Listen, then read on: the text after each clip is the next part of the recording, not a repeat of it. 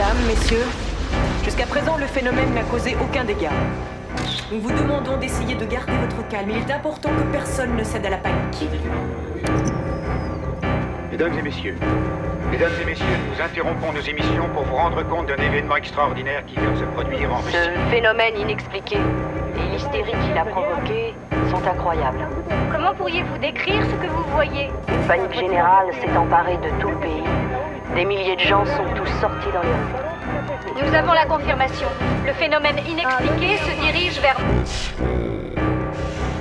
Si vous êtes appelé à quitter ces villes, je vous prie de le faire dans le plus grand calme.